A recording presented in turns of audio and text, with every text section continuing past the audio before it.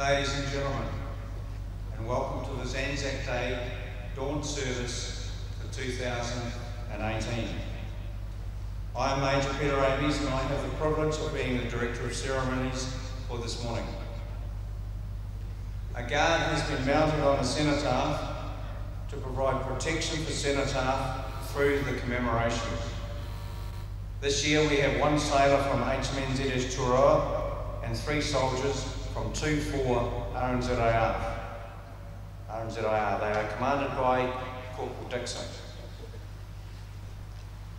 The service will officially begin at 6.30 with the firing of a 25 pounder gun, symbolising the time when Anzac forces landed at Gallipoli over a century ago.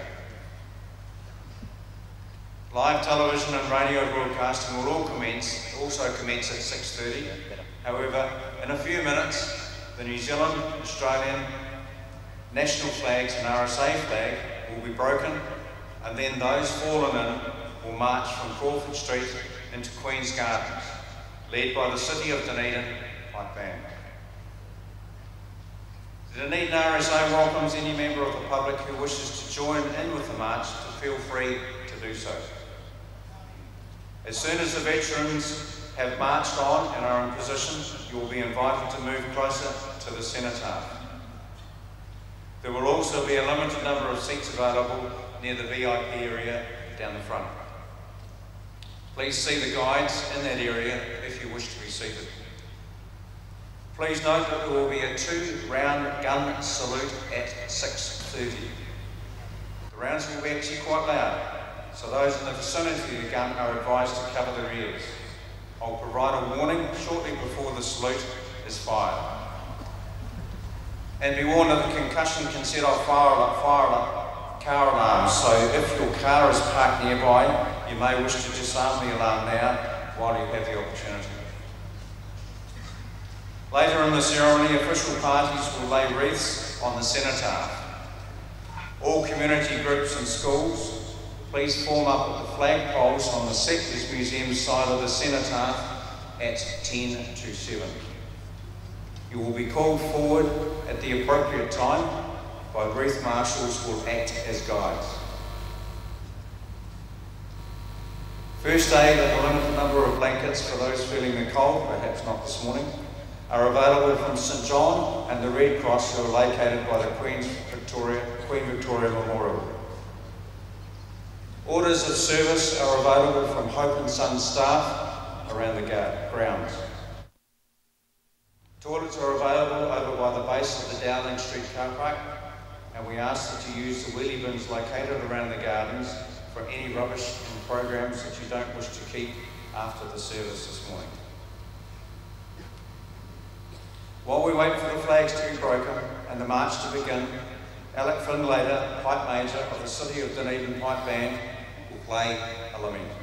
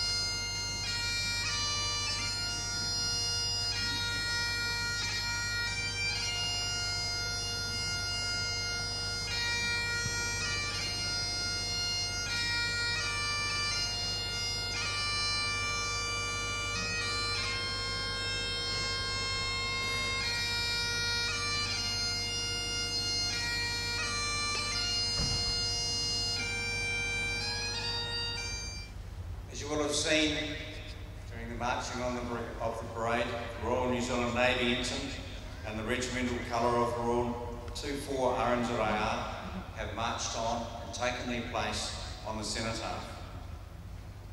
Our veterans are in place, our parade is in place, and we wait for the gun salute which will occur at 6.30.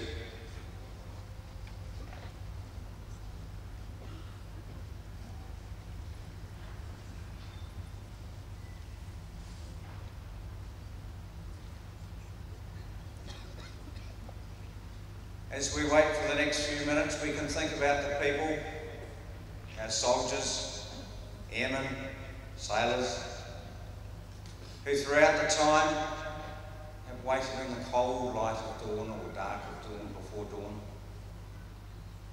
How can we, we can think about the people in Gallipoli, waiting in the boats, thinking about what might come of them, what might happen to them thinking about families at home, thinking about their mates, thinking about what they will be doing and what may befall them in the next 10 minutes, 30 minutes, two hours, two days, two weeks. Let us reflect for a few minutes.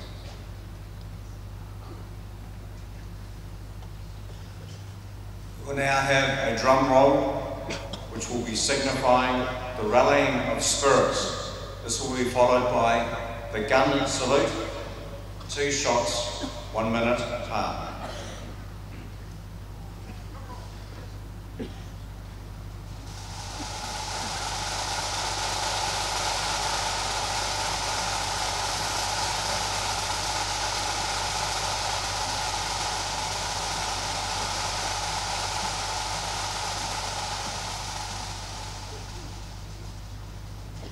Stand by for the gun salute.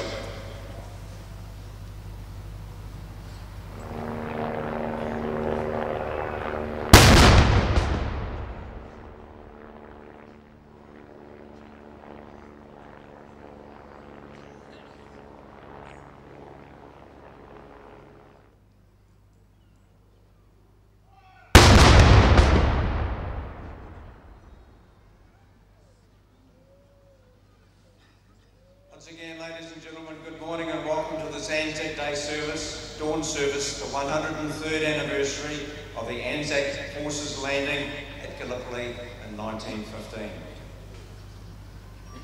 I would like to formally welcome members of the official party, our guest speaker, Commodore David Proctor, Deputy Commander of the Joint Forces New Zealand, New Zealand Government Representative, MP Dr David Clark, the British Government Representative, Commander Guy Howard, RN, the Australian Government Representative, Squadron Leader Peter Cox, Chairman of the Otago Regional Council, Mr Stephen Woodhead, His Worship the Dunedin, Mr Dave Cull.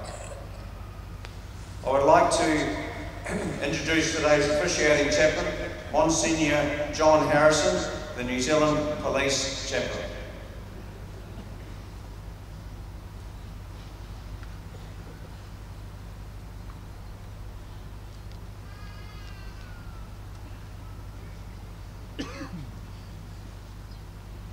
Kia ora, good morning and welcome. I think we all appreciate Anzac Day commemorates more than our involvement in the First World War. But as we're almost through the 100 year commemoration of that war, it remains our focus today. It is helpful to remember in the First World War, 100,000 New Zealanders served overseas from a population of just 1 million. More than 18,000 died, over 40,000 were wounded, a 60% casualty rate, and most were young men. The horror of war impacts on everybody, and no one hates war more than those who served. I grew up in the aftermath of World War II. My father and his brother served in the New Zealand Army in the Pacific. Two of my mother's brothers served in the Royal Navy Fleet Air Arm. One is a pilot flying swordfish aircraft off converted oil tankers and grain carriers, the Atlantic convoys. The other an observer with the British Pacific Fleet over Sumatra, Formosa, now Taiwan. One never came home, lying buried in Sai Wan War Cemetery in Hong Kong.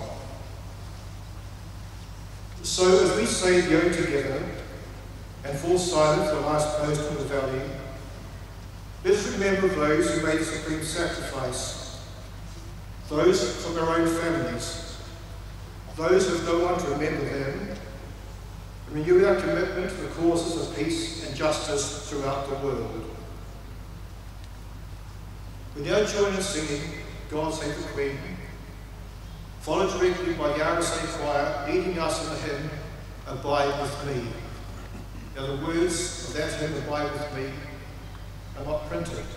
So for those who know them, we sing the first and the second verses and the final verse which is number five.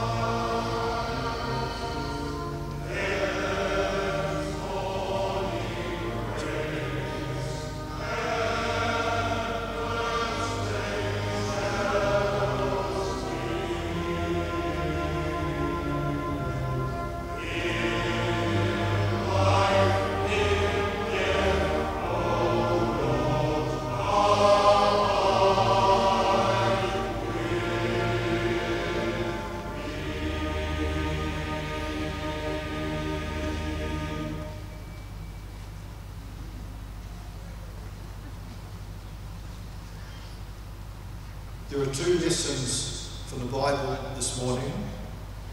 The first from the book of the prophet Isaiah, chapter 2, verses 1 to 4, read by Helen Knott, head girl at St Hilda's Collegiate School. True peace and justice are brought about not by force, but through a gentle approach. The second from the Gospel of St John, chapter 12, verses 23 to 26, read by Sophie Armstrong, Deputy Head Girl at St Hilda's Collegiate School. Jesus, through his life, gives us an example of how we should live. No self-seeking or selfishness, the deep, genuine concern for the good of others.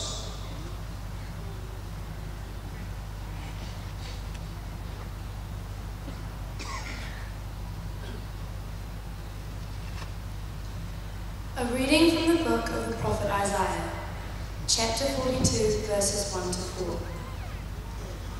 Thus says the Lord Here is my servant whom I uphold, my chosen in whom my soul delights.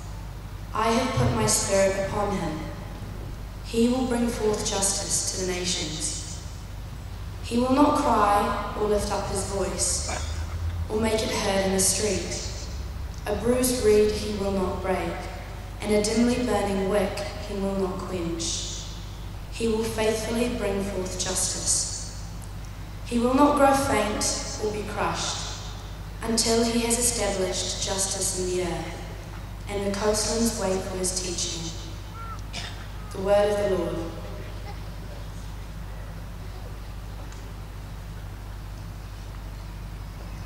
This is a reading of the Holy Gospel according to John, chapter 12, verses 23 to 26.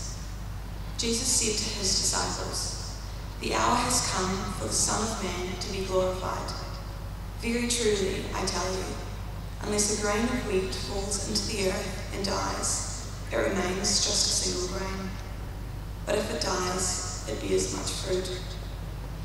For those who love their life lose it and those who hate their life in this world will keep it for eternal life. Whoever serves me must follow me, and where I am, there will my servant be also. Whoever serves me, the Father will honour. The word of the Lord.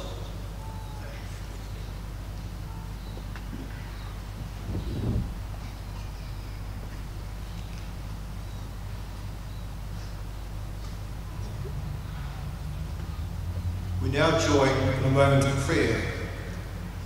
To the words, Lord, in your mercy, I invite you to respond, Lord, hear our prayer. Let us pray for the peace of the world, for stateswomen and men, they may have the wisdom to know and courage to do what is right for all who work to improve international relationships, that they may find the true way to reconcile people of different race, colour and creed. And for women and men the world over, that they may have justice and freedom and live in security and peace. Lord, in your mercy, Lord, hear our prayer for all who suffer as a result of war, for the injured and the disabled, for the mentally distressed, for those whose faith in God and humankind has been weakened or destroyed, for the homeless and refugees, for those who are hungry, for all who have lost their livelihood and security, for those who mourn their dead, those who have lost husband or wife, children or parents, and especially those who feel they have no hope to sustain them in their grief.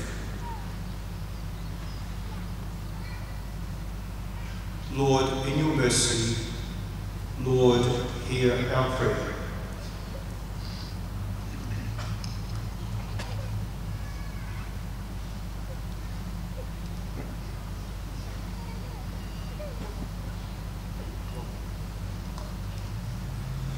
It is now my pleasure to introduce our guest speaker for today, Commodore David Proctor, Deputy Commander of Joint Forces New Zealand. Commodore Proctor was appointed Deputy Commander Joint Forces New Zealand in February this year. Other appointments in flag rank include Chief of the Defence Strategy and Governance and Commander of the Defence Logistics Command. With a notable human relations background as a junior officer, Commodore Proctor has held a number of senior logistics posts during the latter part of his career. His operational service includes deployment to the Solomon Islands and being deployed as Chief of Logistics, United Nations missions in support of East Timor and Senior National Officer. Sir, we are privileged to have you here with us today.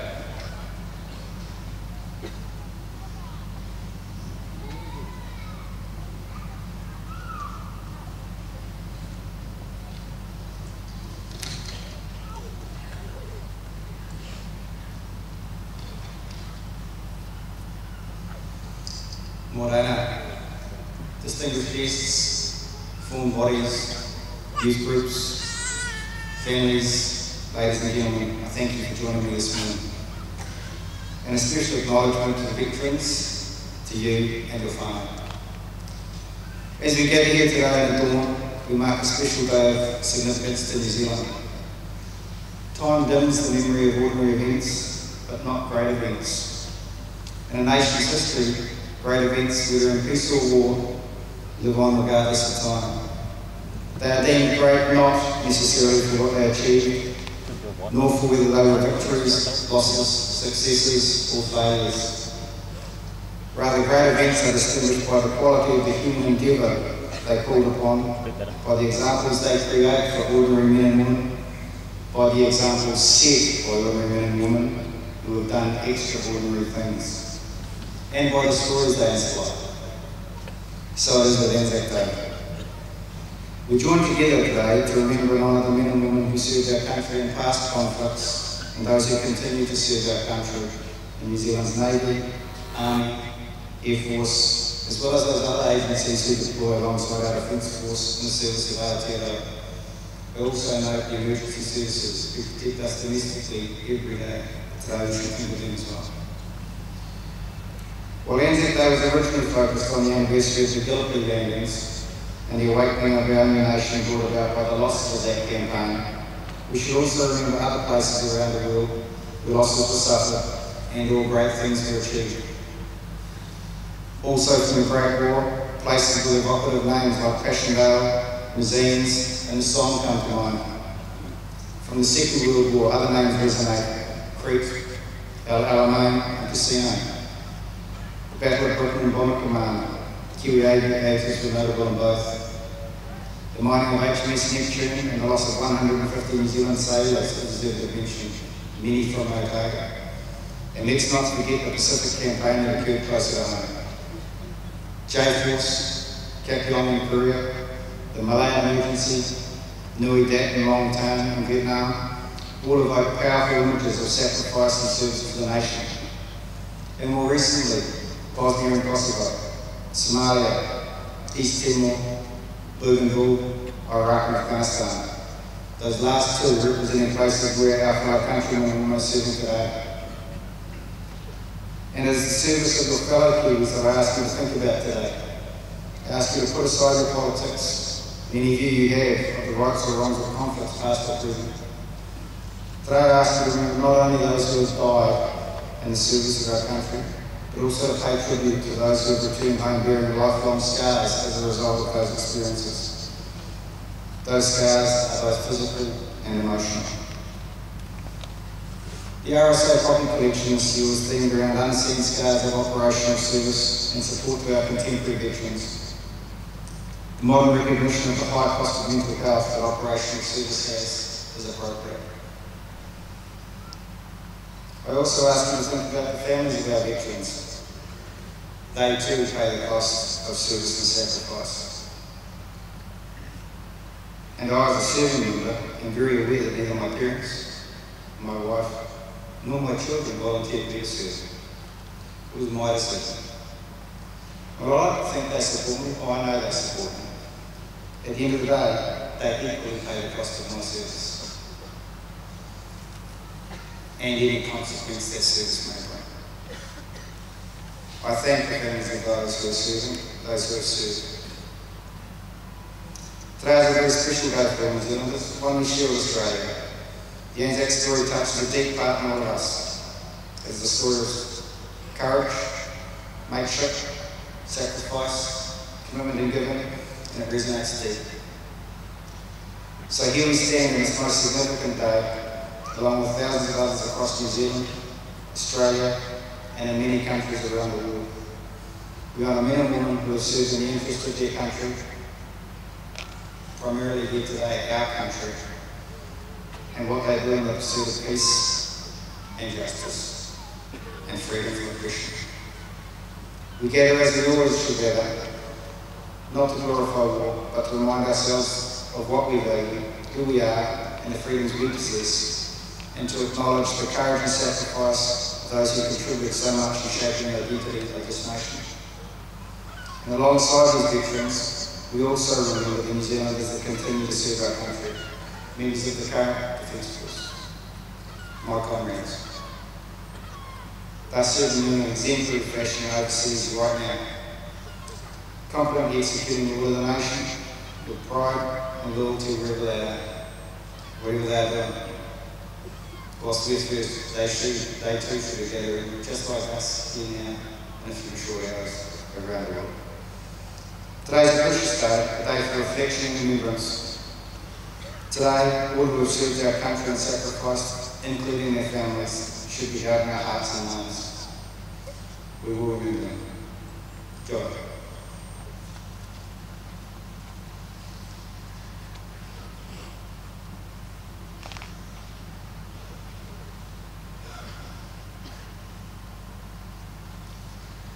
Thank you for your address, and the covering of conflict, not only in 2019-15, but also throughout time, and where we are currently serving and operating in the world.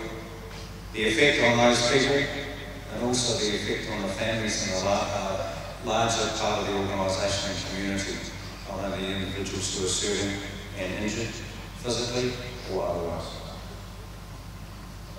Major Lox Callis, President of the Dunedin RSA, will now give a remembrance dedication. This will be followed by the ode for the fallen and Māori by John Broughton, Associate Professor at University of Otago, and then in English by Callis.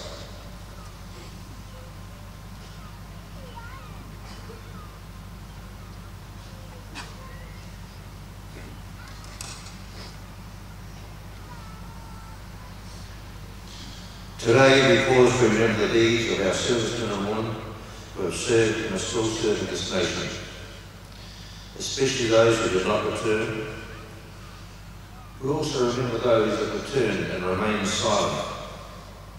Today we recognise what that silence was caused by. We have a duty of care to embrace them, to bring them back and rehab them into society, a recognition of their service.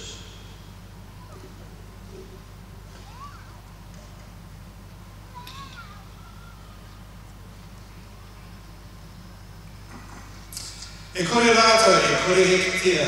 Pēnei i a tātou kua mahane. E, e kore hoki rātou te moe kore. Ā, kō pēr i ngā āhatanga o te wā. I te hinga atu o te rā. Tai noa ki te aranga mai i te ata. Ka maunga ara tōru tātou ki a rātou. Ka maunga ara tōru tātou ki a rātou.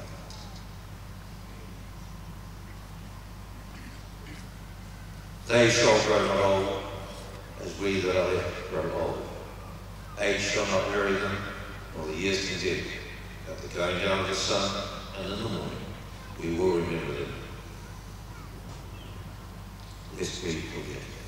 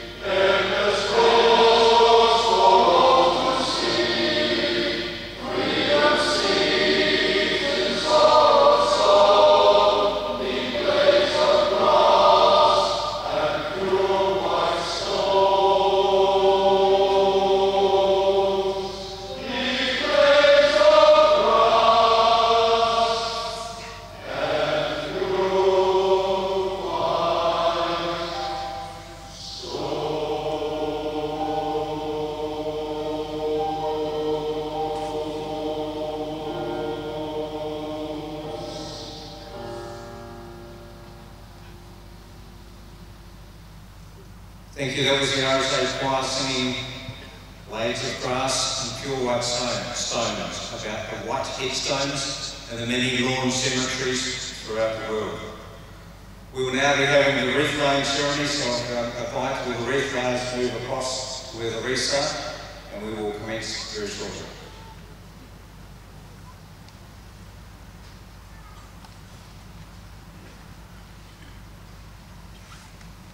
The wreaths will now laid on the cenotaph to remember those who have died in the service of their country.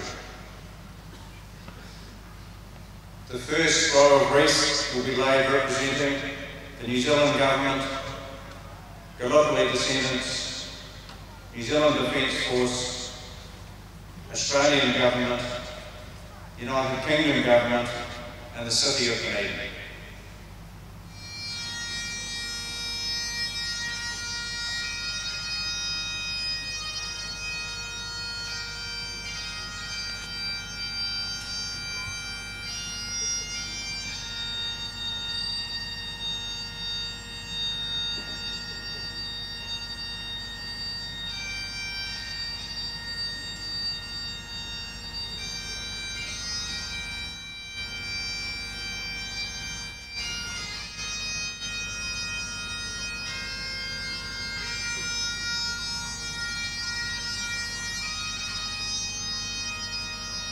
Reese will now come forward for the Otago Regional Council, Dunedin RSA, Royal New Zealand Air Force, New Zealand Army, Royal New Zealand Navy, and the Merchant Navy.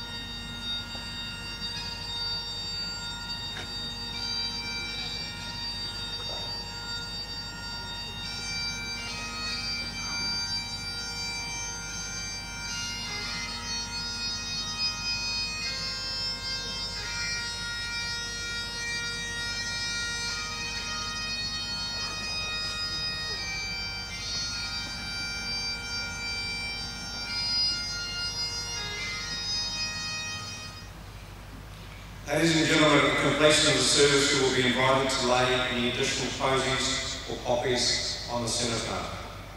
It is now my pleasure to reintroduce the officiating chaplain, Monsignor John Harrison.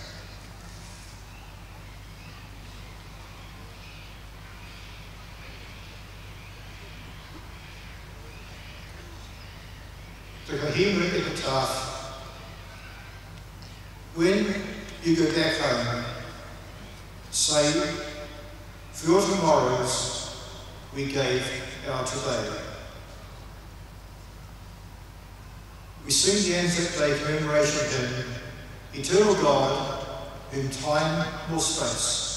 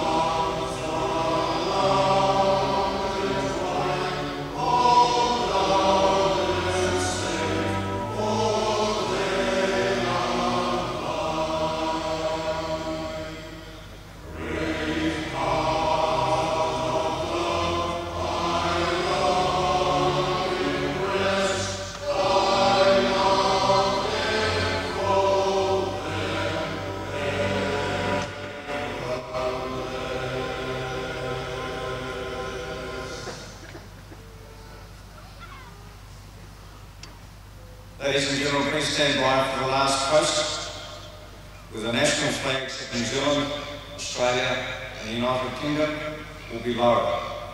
A 30 second silent tribute will then take place, followed by the vote.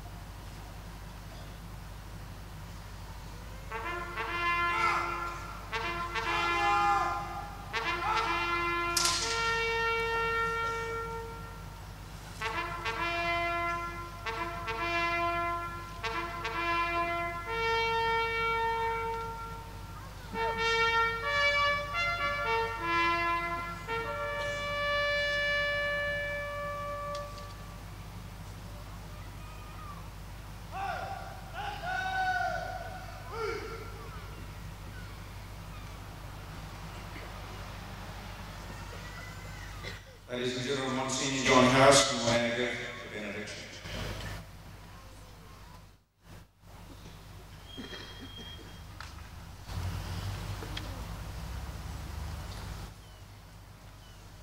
God grant to the living grace, to the departed rest, to the Church, the Queen, the Commonwealth, and all humankind, peace and concord. And to servants, life everlasting.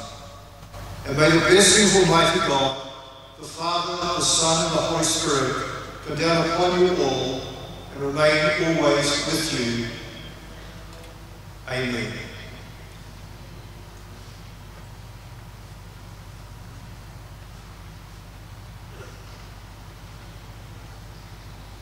Ladies and gentlemen, please join in singing the national anthems of New Zealand and Australia.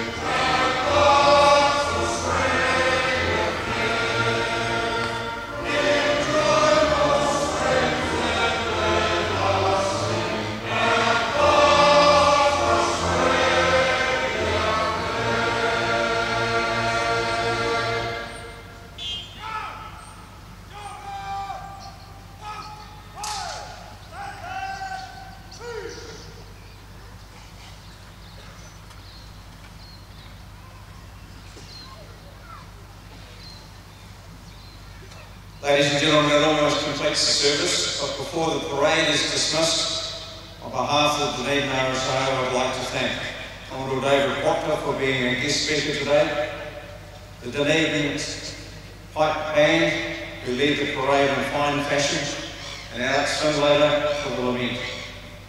The Dunedin RSA Choir who performed to their usual, very high standard.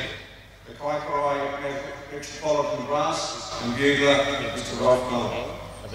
Thanks go to the Otago Gunners Association who conducted the gun salute and the Red Cross and St John's Ambulance for their attendance. The RSA would also like to acknowledge the significant behind-the-scenes contribution made by the Dun- Dunedin City Council and staff of Hope and Sons to today's success and acknowledge the turnout of the children and staff of the many schools around Dunedin. Shortly, the colour party will regather the colours and march them off the Cenotaph Guard and the Cenotaph Guard will dismount. At the completion of this, the parade will be dismissed.